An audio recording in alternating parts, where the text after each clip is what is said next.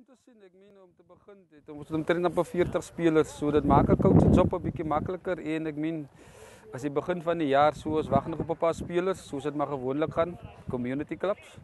Almal het gereël vir die gym en kan gym toe gaan en sterk maak in die gym. Soos moet maar 'n bietjie maniertjies vind om hulle spiere bietjie sterker te maak vir die seisoen wat voorlê dit is as ek dink vir, vir myself is dit baie groot voordeel. Ek as 'n een van die plekke wat ek altyd wil gecoach is, is by Ensenaads So dis weer geleentheid wat aan my gebied geword gebied het en ek hoop dit uh, uh, sal suksesvol wees. Ek hoop maar die beste van my spelers, my bestuur en dan ons coaching staf, ons sal alles doen. Ag ek dink ons moet dit goed opbreek as as as as jy as jy die fisiese part met die hardloop part gaan, dan sal ons ek dink dit sal ons goed 'n goeie gebalanseerde span is.